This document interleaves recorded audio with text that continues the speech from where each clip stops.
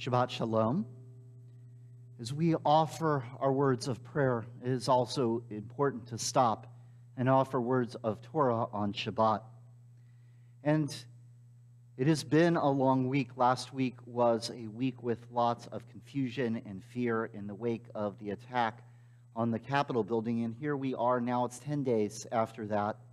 Um, and it's fitting that our Torah portion is all about the plagues and oppression and Pharaoh's heart getting hardened and the people of Israel getting oppressed more and more because it kind of matches how I feel as I've been watching this week. That there is this oppression and senseless hatred and power plays that are going on, and that there is, you see in Exodus, God and Moses coming forward again and again in so many different ways with each plague, with different words, with different signs and symbols to stand up to it with force because they see this is not what it's supposed to be, and so we are going to let justice well up like waters and righteousness in his mighty stream, and they stand up to the bullying and the harsh oppression of Egypt and the Pharaoh. You see this, and you hear the people of Israel, and the line that keeps going through my head is a refrain, a line we say all the time, Oseh shalom bimromav, hu say shalom, alenu v'al kol Yisrael v'imru, amen.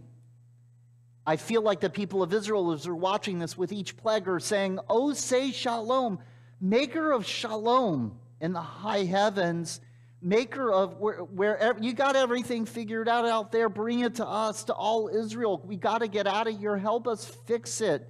Take care of us. Make us whole. There is shalom out there. We need shalom here. And you see as they stand up and they have these plagues and we'll be getting out of Egypt within the next week in our Torah portion. But I read that and I hear that.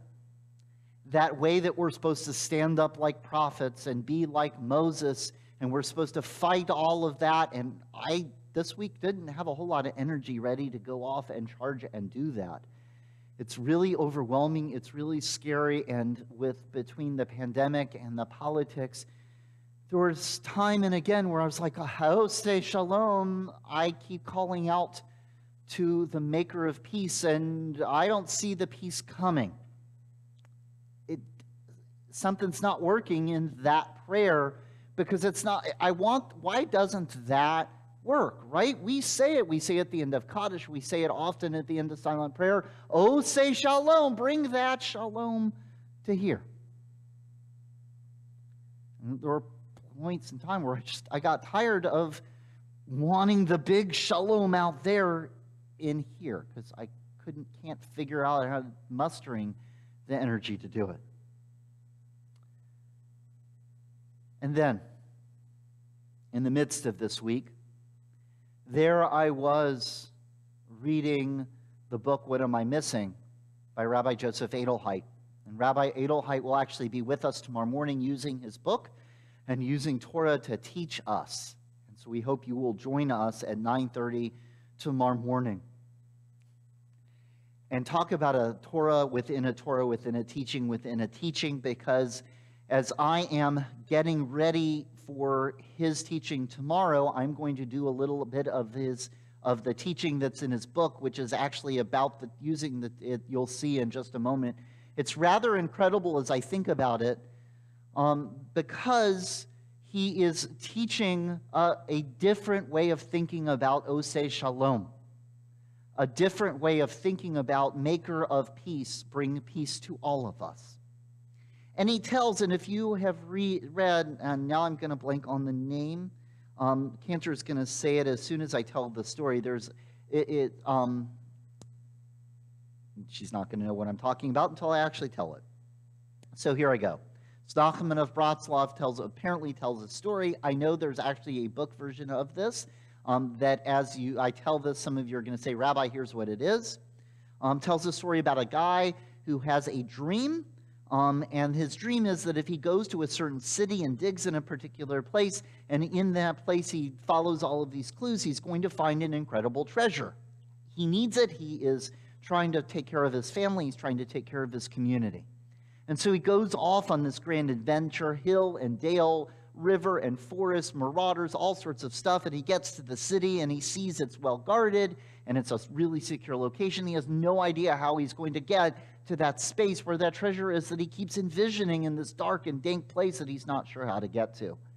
And he sees a person, a man on patrol, and he goes up and he's like, Look, maybe if I go explain what's happening, they'll let me in and I'll dig and I'll find it and we'll, everyone will live happily ever after.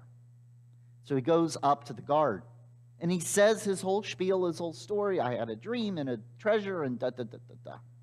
Guard looks at him and is like, Wait, what? He says, Look, this, is, this is what's going to happen. It's, it's a prophecy. I, I know this is true. Guard says, No, that's the, I had a dream too. I had this crazy dream. It's the mirror of yours that I was going to be on patrol, and some traveler from a faraway place is going to come and tell me this incredible story about a treasure, and that I actually have to tell him that if he goes to this place and he starts describing a house on a lane with a cellar. And if he goes to that place and he digs in the cellar, there's the treasure. The guy looks at him and says, Wait, what? And the guard explains it all again. He says, That's my house that you're describing. And the guard says, I don't know. That's what my dream was. And so the man goes back, Riverdale, hill, mountain, forest, trees, back home into his basement, digs in his cellar, Cellars are, by the way, rooms that are underground in houses. They have them apparently in some places, and there, in fact, finds the treasure. Um, Cantor? You have, because we've had this conversation, I think. Maybe not. I don't know. There's a book that somebody has written as a, uh, this is a common story and trope about this traveler on this search. Rabbi Adelheit, in sharing that story, says he read it and it didn't quite click for him until he read the words of Lawrence Kushner, Rabbi Lawrence Kushner, talking about a missing piece. And Lawrence Kushner says this There must have been a time when you entered a room and met someone, and after a while you understood that unknown to either of you, there was a reason you had met. You changed the other or the other was changed by you. By word or by deed, or just your presence, the errand had been completed. You were a little bewildered, or humbled, or grateful, and it was over. Each life, this is what struck me both about Nachman's story, but also Rabbi Kushner's commentary that Rabbi Adelheit bases his book upon. He says, each life is a pieces of jigsaw puzzle for some, there are more pieces. For others, puzzle is a little more difficult to assemble. Some to be, be born with a nearly completed puzzle, and so it goes. Souls going this way and trying to assemble the myriad parts. But know this no one has within themselves all of the pieces to their puzzle. Like before the day when they used to seal the jigsaw puzzles in cellophane ensuring that all the pieces were there. So you would think that each of us has all of our puzzles, it's all in a bag, we just have to lay it on the table and put it all together. But in fact, it's a little more complicated than that. Everyone carries at least one and probably more pieces of someone else's puzzle. Sometimes they know it, sometimes they don't. And when you present your piece with which is worth less to you to another, whether you know it or not, whether they know it or not, you are a messenger of the Most High. It is a very different understanding of Oseh Shalom. It is truth. There is fragmentation and brokenness, but it's not that I'm waiting for some Oseh Shalom Bimromav to bring Oseh Shalom Bimromav that shalom, not to bring that shalom aleinu. I'm not waiting for the God out there to bring order and here. The, all the parts are either in here or out there, and it's our job interacting with each other, trading parts and pieces, making content, making connections, weaving our threads together. In fact, just before service, I was making the random comment about growing cotton, and Sheldon Cantor said beautifully, Isn't it amazing that the fibers of cotton are very short, but there's a way to weave them together into an infinite string? It's not that there's shalom out there, it's all in here. But it's not just me and it's not just you, it's all of us finding ways to work together. The pieces are out there, the pieces are in here. We have to come to a table together and work with each other to make that sense of shalom. Beautiful statement in Pirkei Avot when two people sit to study Torah together, the Shekhinah, the divine presence, rests between them. That's that image of shalom. We even say it so many times in our prayer for redemption, and I know it's Natalie Feldman's, it's one of my favorite too, too that we join hands and walk together. That's why I wanted that picture of Heschel and Martin Luther King Jr. The two of them work together. They strengthened each other. They taught each other. They lifted each other up. Even as they tried to lift up the world, because they were able to do that lifting and bring so many people, communities, and individuals to a place that was high and holy because they were walking hand in hand together, teaching each other and sharing together. Those moments where we find and say, wait, here's a puzzle piece that's not mine but here is a puzzle piece that can complete you. As I come before you, and that idea of hands touching hands and souls touching souls, and maybe it's not trying to pull the big shalom out there, but trading little bits and pieces, threads back and forth, and weaving a shalom from in here.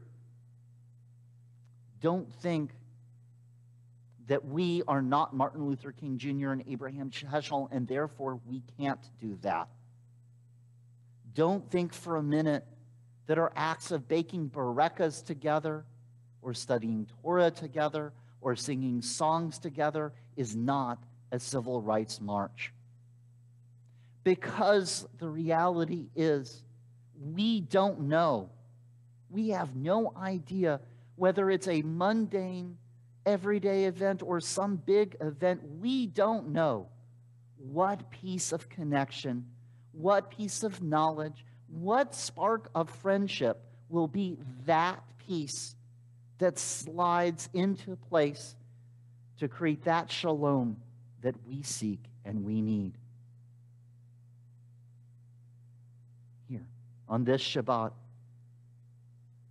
we are challenged because it might not just be the peace that we're looking for, but here it's the peace that we might carry, and it's the work of finding each other and sharing with each other and connecting with each other. It is definitely more challenging to do this in our day and age. But when you look at the brokenness of our world, when you look at that darkness, when you look at the sharpness. Isn't it worth all of that energy, all of that effort, those ways, little and big, of reaching out with each, to each other? Oh, say shalom bimromav, hu ya'aseh shalom. Aleinu v'al kol Yisrael v'al kol yoshvei tevel v'imru. Amen. May the one who gave me pieces of peace, threads and puzzle pieces, help me learn how to reach out, to connect with each other, so that we build that sense of shalom in our world. Amen and Shabbat Shalom.